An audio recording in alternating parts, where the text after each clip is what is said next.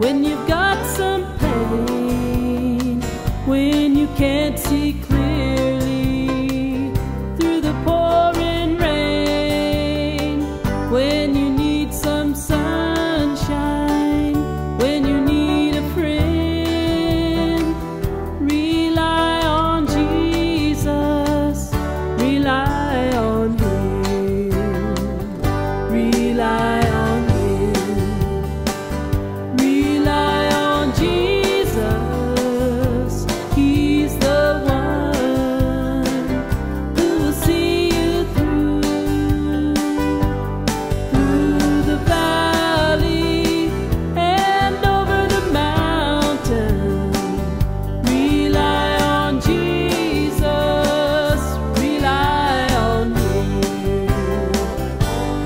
storm would come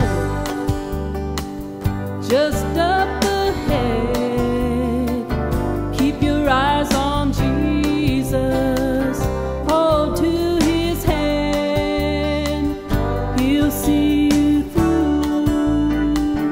Just trust